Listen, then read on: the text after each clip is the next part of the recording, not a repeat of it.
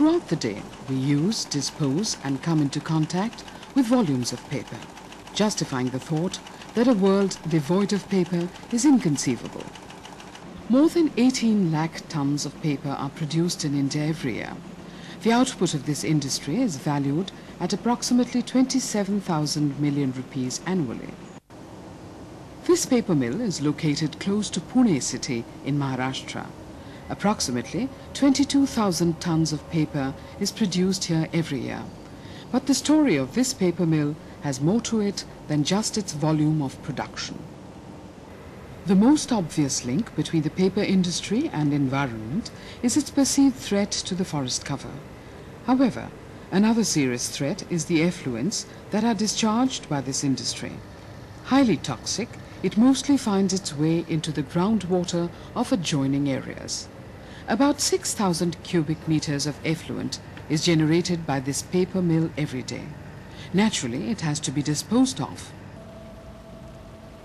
Earlier, the factory had a conventional aerobic treatment plant, which used bacteria to clean the wastewater. But aerobic treatment was found to be highly energy intensive.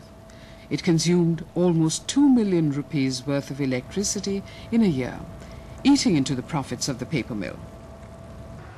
Now, much of the treatment is done by the new plant, which uses the anaerobic digestion process and also generates biogas as a byproduct.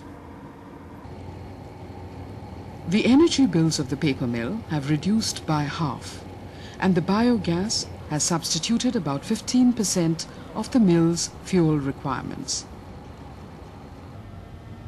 The leftover waste sludge is used to make paperboards for containers.